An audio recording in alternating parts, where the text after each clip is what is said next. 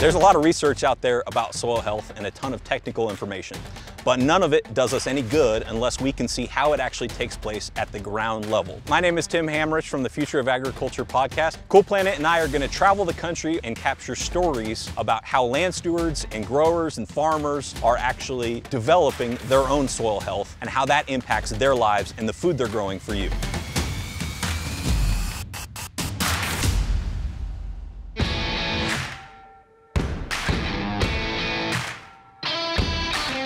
When we set off on this journey of stories from the soil, we didn't know what we were going to find out. We just wanted to get out there and listen and talk to farmers and growers and, and just understand what they're dealing with, how they look at soil health, and what tools they have at their disposal to try to build soil health over time.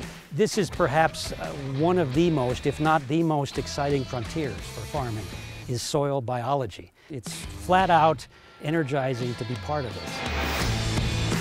What sticks out to me is that while we have seen a variety of farming practices, farmers, geography, states, crops, etc., the principles of soil health are pretty universal, trying to build up the water holding capacity, the nutrient capacity, trying to build up the carbon in the soil, increase microbial activity. The principles of soil health are the same, but the way they're practiced is a little bit different. I think back to the first episode we had with Jim Loar, the CEO of Cool Planet, and talking about the science behind carbon in the soil, that not all carbon is created equally, and the fact that they have accomplished over 100 independent studies about the efficacy of their product. From a farmer's perspective, sustainability is great. I think they're probably the most sustainable people in the world, but they have to do it profitably too. So we need to be bringing them tools that help them with productivity and profitability. Let's take Coolterra for example, a fixed carbon material that goes into the soil that, that basically provides a habitat for the soil biology. The concept of soil health, where our seeds are planted, where our transplants go in, where our trees and crops grow, I think is the next evolution of agriculture. I think about our trip down to Dell City, Texas, outside of El Paso, and visiting Jay Hill of Hill Farms. Pretty interesting to see how he is incorporating soil health in soils that typically have had salinity issues and even converting raw desert to farmland and having a great crop in the very first year. Soil health in, in, in farming is, I mean, it, it's at the forefront of everything because without soil, you don't have anything. Mm -hmm. And so as we look at our, our future, we have to plant crops with a map. At the same time, we have to look at what's the next one and what's the next one. So we try to stay seven years. We have to make sure that that, that soil can handle what we're to put on it. I'm to be here for a long time, God willing.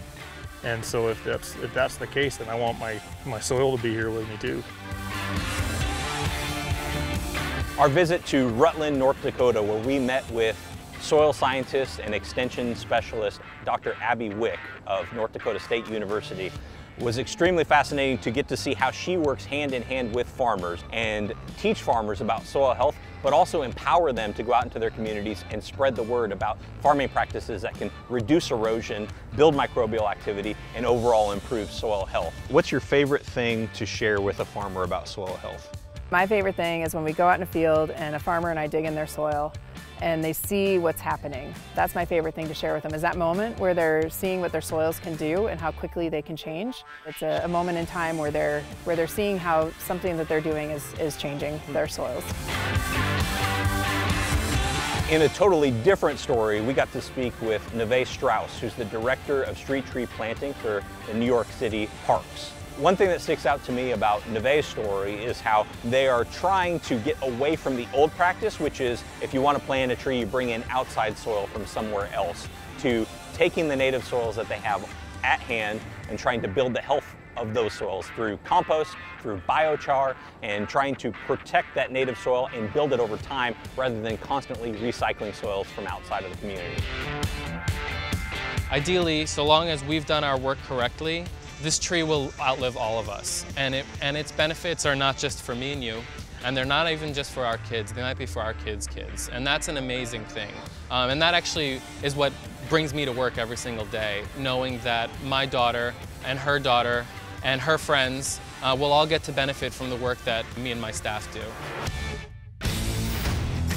We've had quite a journey here exploring soil health I just wanted to say a thank you to Cool Planet for really taking a leadership role in this conversation surrounding soil health. We hope that with this video series, this inspires further conversation to exchange ideas about how can we put the soil first and how can we foster healthier soils and in turn a healthier agricultural system. And we hope that you watching this can add your own ideas to this conversation of stories from the soil. From a soil health aspect, everybody can do it. They, they just got to figure out how it works for them.